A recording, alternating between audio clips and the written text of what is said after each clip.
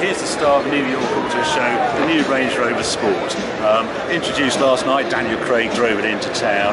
Uh, big change for this car uh, because it's an all aluminium car. It's had a dramatic loss of weight, 420 kilos they're talking about, and it's a completely different car to the previous Range Rover Sport. It almost all have a different name.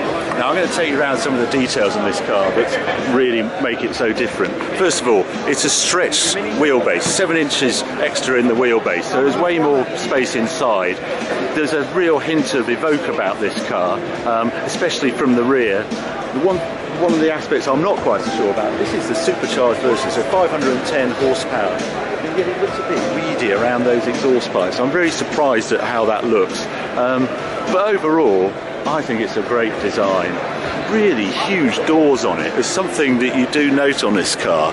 It's very easy to get in and out. But whoa, look at the size of that door. It's like a, it's like a barn door, but there's much more space than there ever used to be. Uh, in the back, they call this a um, five-seater. Well, I don't really want the middle seat, but what's nice is it's a full-size seat with a headrest, rather than having that funny headrest. You used to get in a Range Rover Sport and used to dig into your back. Not on this model. Um, so it's a proper five-seater. The other thing uh, I quite like about it is on the option list there is a two-seater, uh, sorry, third row seat, £1,500 buys you these emergency seats in the back, flick up a touch of a button. A really nice touch to have a five plus two seating option like that. Style, I think it, it, I think it is one of the best designs we've seen of this sort of genre of car. Um, we sort of got used to this new look of uh, Land Rover with the Evoque, uh, but this drags it on to another level. Now, inside, what's different to this, to the um, full fat Range Rover, is a higher console. Um, step inside. Oh, there we go. Um, if you see here, it's got an LCD dash and a centre screen, just like on the full-size Range Rover, and also this, a gear change, rather than that funny rotary knob. Welcome return to have that, I think, in the car. And you get uh, paddles behind the wheel to change gear on the 8-speed gearbox. Again, emphasising how different this car is to um, the other Range Rovers in the range, you, there is um, standard option is a single speed transfer gearbox. What am I talking about? You haven't got the low and high range that used to get in Range Rovers for ultimate off-road ability.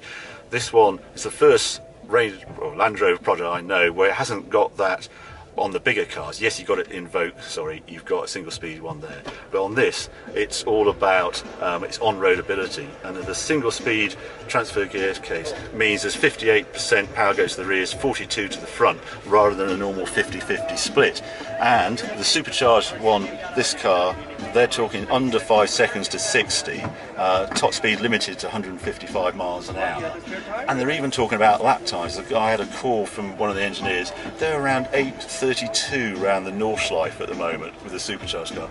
That's the sort of speed that a Cayenne uh, Turbo was doing two, three years ago. So this car is genuinely going to compete dynamically, they're telling me, uh, with that of a Porsche Cayenne, which the previous one never did because he was so overweight. Um, it was like it was like Isambard uh, Kingdom uh, Brunel sort of designed it or something, but uh, he was so so heavy.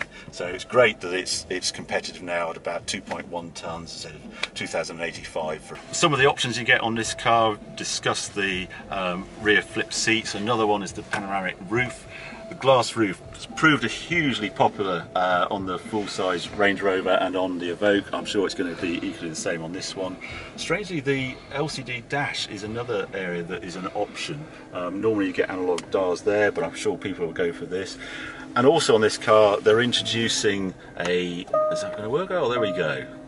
Yeah, so that's that is going to be an option, the LCD uh, screens and it's all configurable and you press sport and then it all goes turns red and you know super sporty um, you're getting an app with this one on your iPhone where you can check remotely how much fuel you've got in your car, what sort of range you've got, even where you parked it. It's got a sort of tracker on it, so you can, if you're if you're out in town and you've gone walking about and you don't know where you park, press that, and it'll give you the quickest way back to the car. All sort of clever stuff that we're sort of seeing on this car, but it's been introduced for this one. There's even a hot uh, Wi-Fi hotspot in here. It takes up to eight devices. It only seats seven, so I don't know why you want eight devices, but anyway, it's better than everybody else.